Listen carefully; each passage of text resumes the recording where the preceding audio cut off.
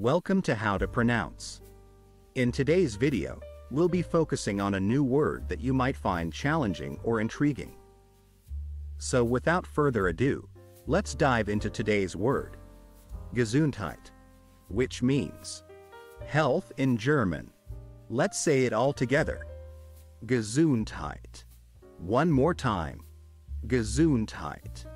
Now let's split the word into syllables and then pronounce each syllable one by one. G, Zun, Dheit. Thank you for joining us on this adventure in pronunciation. Remember, language is a journey, not a destination. Keep exploring, experimenting, and expanding your linguistic horizons. We'll see you next time.